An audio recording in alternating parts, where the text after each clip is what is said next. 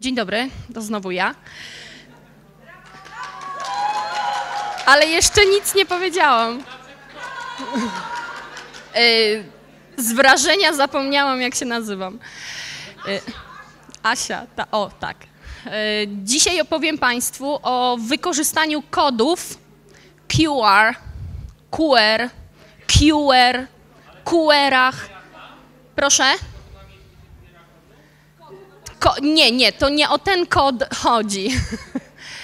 Y, Jak kto chce, tak może go nazywać. Nie ma chyba ustalonej nazwy. Każdy nazywa tak, jak chce. QR-y. D- Jest pełna dowolność. Jeszcze ministerstwo nie zarządziło, jak się należy posługiwać, jaką, jaką, jakim terminem. No więc, e, drodzy Państwo, co to jest kod QR? Kod QR to system zakodowanych znaków, e, który wygląda mniej więcej tak. Jak Państwo widzicie, on może przybierać różne kolory, e, może być też w różnym kształcie, e, może zawierać na przykład logo w środku, które będzie na pierwszy rzut oka mówiło, do czego odnosi. E, Może mieć e, kropeczki w środku, bądź takie szlaczki, czy jakiś taki układ e, labiryntów. I to wszystko zależy od tego, jakiego generatora tych kodów użyjemy. Najprościej rzecz ujmując, ten kod zawiera w sobie jakąś zakodowaną informację i za chwilę powiem, jaka to może być ta informacja. Ale na początek mały quiz. Jak myślicie Państwo, ile lat ma taki kod QR? 5, tu jest 6, 7, 3, 20 gdzieś tu słyszałam? 30, 10. A powiedzcie Państwo, to tak pomyślcie, od ilu lat sami znacie, gdzieś spotkaliście się z tymi QR-kodami? Jola mówi 3, tak? Około 5 lat. No więc uwaga, kod QR może mieć 6, 12, 14, 22. Którą Państwo obstawiacie? Dobra, kto jest za A? A. Okej, dziękuję. Kto jest za B? O, czuję się jak w Sejmie. I proszę nacisnąć guzik. C. Okej, a D? Dobrze. Państwo, którzy odpowiedzieli. Tak. E, odpowiedź D jest prawidłowa. Wygraliście Państwo odkurzacz. Drodzy Państwo, e, od 1994 roku są na świecie znane kody QR. Oczywiście e, w Chinach został on pierwszy raz zakodowany, stworzony. E, U nas w Polsce troszeczkę później dotarł, e, tak mniej więcej tutaj słyszałam głosy, że od 3, 4, 5 lat widzimy je e, w naszym otoczeniu. One są wszędzie. Ja zaraz pokażę, w jaki sposób w szkole się pojawiają, ale najpierw jak zrobić. No więc, żeby zrobić kod QR, potrzebujemy generatora. W wyszukiwarce Google wpisujemy hasło QR generator i otrzymujemy szereg stron zawierających generatory. I teraz po prostu trzeba się pobawić i przetestować. Ale zazwyczaj te strony mają wiele wspólnego, e, po czym można zoba- po czym, ym, co ułatwia jakby obsługę tej strony. Tutaj widzicie Państwo po lewej stronie po lewej stronie y, mamy pierwszy znaczek y, pokazujący taką kulę ziemską, co oznacza, że y, mogę zakodować sobie kod, przepraszam, link do strony internetowej. I jeżeli wybierzemy na jakiejkolwiek stronie zawierającej generator taki właśnie znaczek z kulą ziemską, będzie to oznaczało, że tam możemy wkleić w to pole takie podłużne, nie chcę tu przyciskać, bo nie wiem, coś mi tutaj się ciągle wyłącza. Em, Tu był taki długopis. Nie ma. Dobra, okej. W każdym razie w tym ten taki podłużny pasek, jak Państwo wpiszecie, e, wkleicie w tą ramkę, e, wkleicie e, link do strony, e, i klikniecie, to właściwie nic nie trzeba klikać na tej stronie, bo od razu po prawej stronie wygeneruje się kod i jego trzeba po prostu pobrać i wydrukować. I ten kod będzie nas. E, o, dzięki. Drodzy Państwo, a jeżeli tu wybierzemy taką karteczkę, to będziemy mogli wpisać zwykły tekst i ten tekst również zostanie zakodowany. I taki zwykły kod QR drukujemy i dajemy uczniowi. On skanuje go i odczytuje bądź przenosi się do strony. Ale za, o tym za chwilę jeszcze powiem. Są takie bardzo fajne strony, generatory, które e, pozwalają nam. E, je, urozmaicić te kody, czyli pozwalają nam na zmianę koloru, e, zmianę właśnie tych takich labiryncików w kropeczki bądź w jakieś takie szlaczki. E, niektóre z nich pozwalają dodawać logo w środku. Można dodać też swój własny obrazek.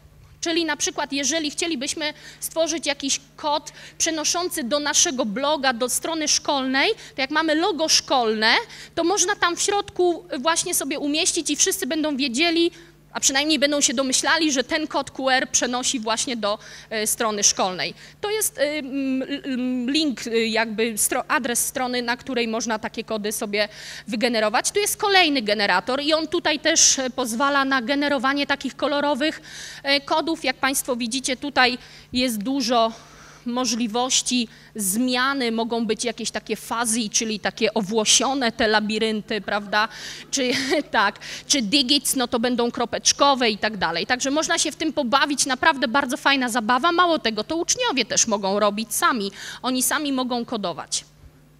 E, jest też polskojęzyczna strona e, qronline.pl i co tutaj jest fajnego, to to, że można pobrać plik PDF z dwunastoma kodami na jednej stronie. Czyli jeżeli potrzebujemy małe kodziki, to od razu będzie ich 12 na stronie, a potem tylko tniemy i rozdajemy uczniom. Oni mogą sobie je wkleić do zeszytu, bądź jeżeli organizujemy jakiś, e, e, jakiś QR quest, czyli jakieś takie wyprawy, podchody QR-owe, to, to te małe kody będą nam potrzebne, żeby je umieścić w różnych miejscach. No więc teraz jak odczytać? Żeby odczytać taki kod QR, trzeba mieć na swoim smartfonie bądź tablecie zainstalowaną aplikację. I teraz ja nie chcę polecać jakiejś jednej, tylko szczególnie sprawdzonej i najlepszej, bo z doświadczenia wiem, że e, każdy czytnik kodów jest inny. Jedne odczytują na przykład e, lepiej z kartki, a już na przykład z, z, rzutnika, to znaczy z obrazu rzuconego na ścianę gorzej, inny na odwrót, tak? Jedne czytają lepiej takie bardzo ziarniste kody, a inne mm, potrzebują właśnie takich bardziej mm, jakby mniej, mniej ziarnistych, o że tak powiem. Od czego zależy ta ziarnistość? Drodzy Państwo, im więcej tekstu zakodujemy, tym kod jest taki bardziej ziarnisty. I jeżeli bardzo dużo tekstu wkleimy, to on może się stać trochę mało czytelny i trudny do odczytania, ale wtedy ja zazwyczaj z uczniami instaluję dwa, trzy QR readery i wtedy po prostu, jeżeli jeden nam nie działa, to przesiadamy się na inne. I trzeba po prostu przetestować. Czasem w domu nam działa, a w szkole też nie działa, więc to tak różnie, naprawdę. Dlaczego pokazuję ten? No. O, y, Monika tutaj mówi, ważna uwaga, na iPadach niektóre czytniki kodów QR jak odczytują tekst, to polskie znaki zamieniają w jakieś krzaczki. I teraz ten tekst może stać się nieczytelny dla małego na przykład ucznia, tak, młodszego. Więc trzeba sobie to po prostu przetestować. Dlaczego mówię o tym kodzie? Y, w aplikacji Google Play, bo to jest akurat y, QR Reader na Androida, jest taka aplikacja QR Droid, i ona oprócz tego, że skanuje kody, odczytuje je, pozwala też na zrobienie kodu bezpośrednio na tablecie. Więc jeżeli Państwo macie y, możliwość wykorzystania tabletów w klasie, to dzieciaki mogą sobie też robić właśnie same kody i potem udostępniać je albo na y, dysk, bądź wysłać mailem do kolegi, do nauczyciela. No więc jak to na lekcjach wygląda? Po co, po co te kody i co z nimi robimy? Głównym jakby główną funkcją tego kodu jest przekierowanie do strony, której adresu uczeń nie musi w tym momencie wpisywać w wyszukiwarce. Ja mówię tu o pracy oczywiście z tabletami, tak? Mówimy o pracy tabletowej czy ze smartfonami, jeżeli uczniowie przynoszą. Jeżeli chcemy na przykład uczniowi dać stronę z jakimś zadaniem interaktywnym, to on nie musi wpisywać tego adresu. Wystarczy, że zakodujemy ten link właśnie kodem QR i damy uczniowi. Jest to bardzo proste, tak? Wystarczy tylko zeskanować i już jesteśmy w zadaniu. Dlatego też właśnie łatwy dostęp. Jest to też niespodzianka, Moi uczniowie bardzo żywo reagują na kody QR, bo zawsze wiedzą, że coś tam fajnego się pod nimi kryje. Czasem oczekują jakiegoś zadania, e, a czasem ja im robię takie QR-y w stylu z tekstem: uśmiechnij się, dzisiaj będzie fajny dzień tak? I oni jak skanują, to widać, od razu się uśmiechają. E, czasem jest filmik jakiś do obejrzenia, czasem jest jakiś obrazek y, śmieszny bądź taki, który będziemy wykorzystywać na lekcjach, więc zawsze kody QR budzą w nich takie, taką, takie mm, zaciekawienie. Tak. E, tak wygląda zadowolona klasa z wykorzystania kodów QR. Tak, tak. Tutaj akurat tworzyliśmy kody o sobie. Każdy uczeń pisał o sobie parę zdań i kodował. Potem ja je drukowałam i rozdawałam całej klasie w przypadkowej kolejności. Oni musieli to zeskanować, przeczytać i odgadnąć, o kim jest tutaj mowa. Bardzo fajne zadanie. E, jeżeli chodzi o przenoszenie y, do stron, e, te kody albo wyświetlam, bo nie zawsze je drukuję.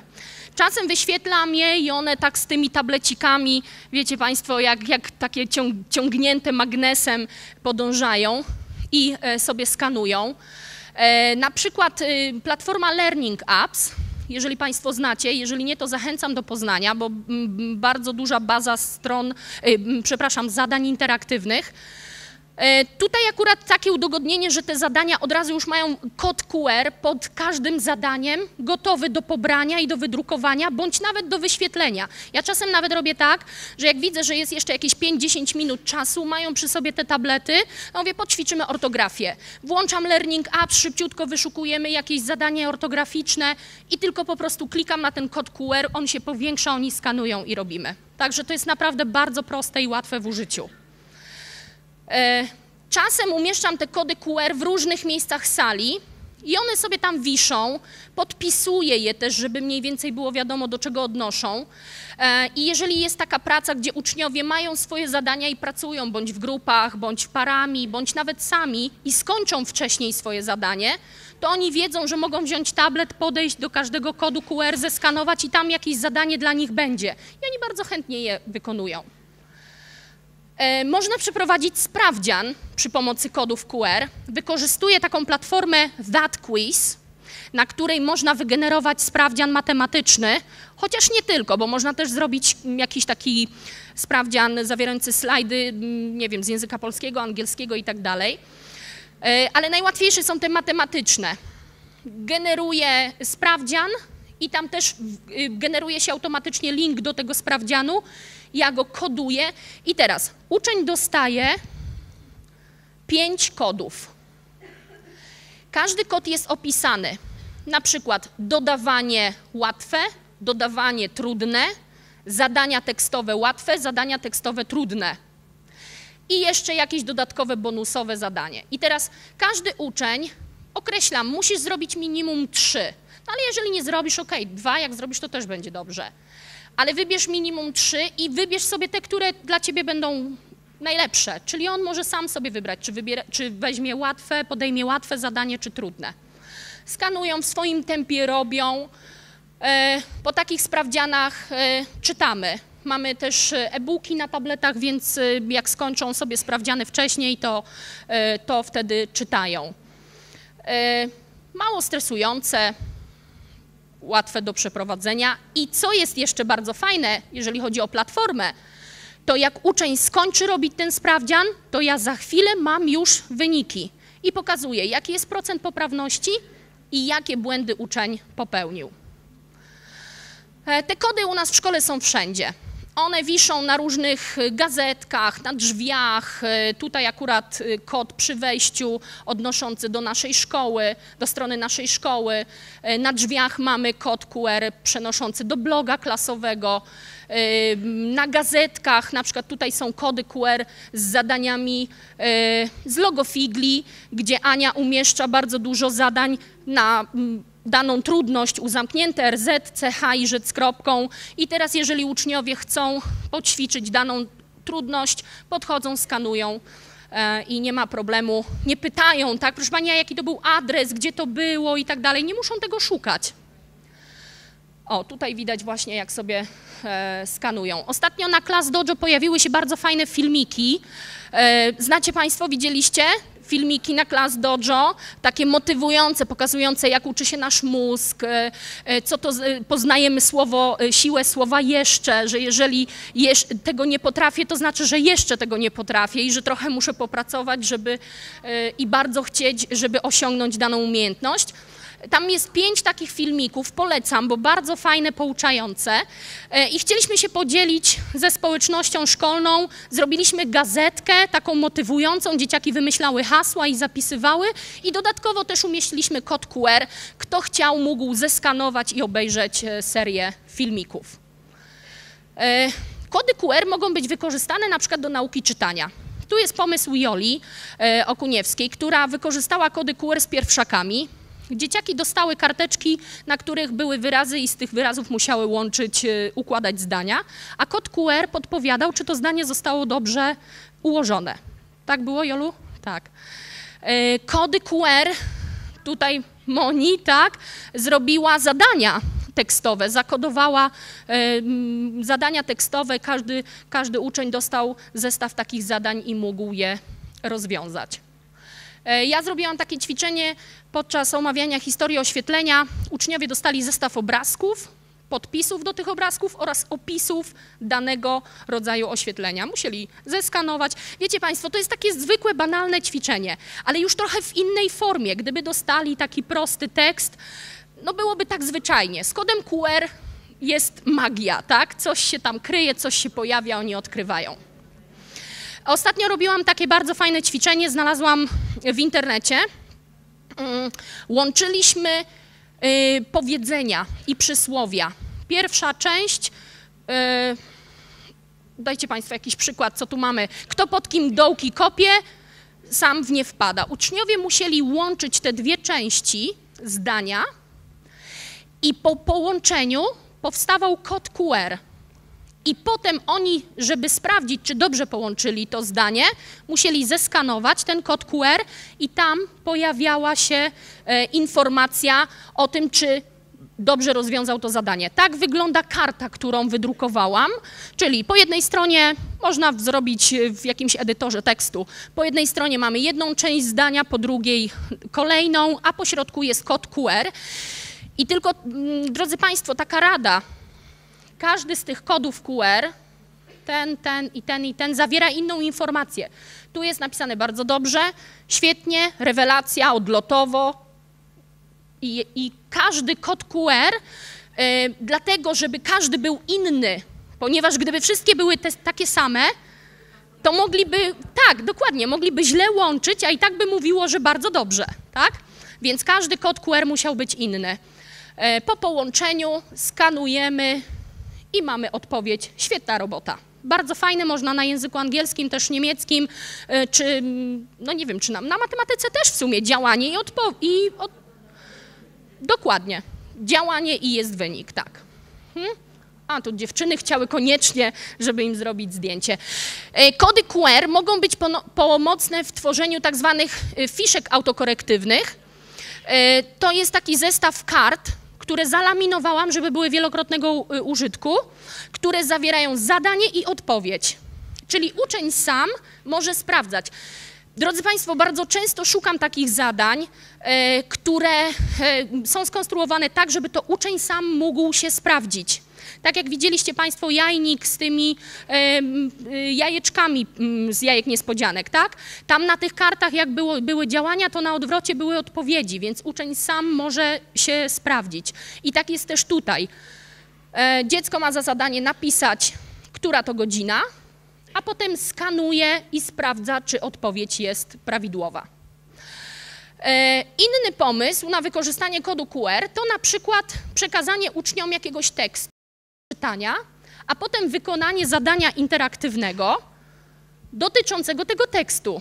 To zadanie jest autorstwa Oli Kamińskiej, która na swojej stronie klikankowo w dziale dla uczniów lektury E, akurat tutaj jest Karolcia, umieściła tekst. Jak widzicie Państwo, on jest taki bardzo ziarnisty, tak? Bo on zawiera dużo tekstu właśnie.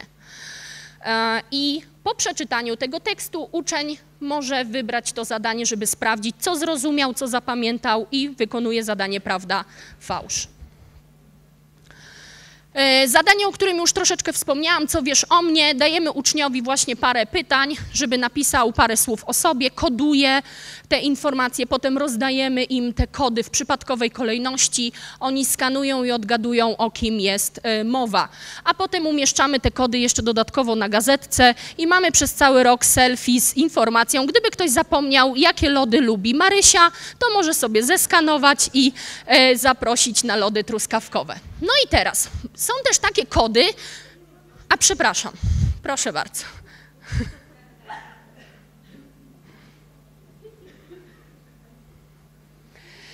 E, drodzy Państwo, są też takie kody, które można sobie samemu dokończyć, kolorować. Wymaluj sobie koda albo zamaluj sobie koda, tak można nazwać tę zabawę. I to są te kartki, które Państwo od, o, od nas dostaliście. E, na czym polega zabawa? Jest taki generator, który pozwala wygenerować kod niepełny i uczeń ma za zadanie go dokończyć. Ale jak go dokończyć?